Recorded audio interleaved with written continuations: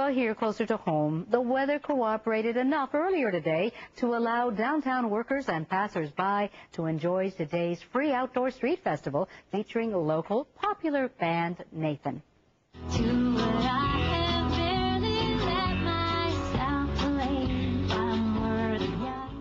As you can see, this little girl certainly enjoyed the show. It's estimated there are around 70,000 workers in downtown Winnipeg, and that number is growing, with more office workers moving into the new Hydro building.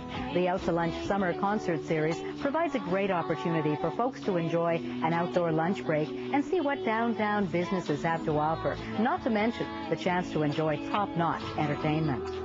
Juno Award winners Nathan.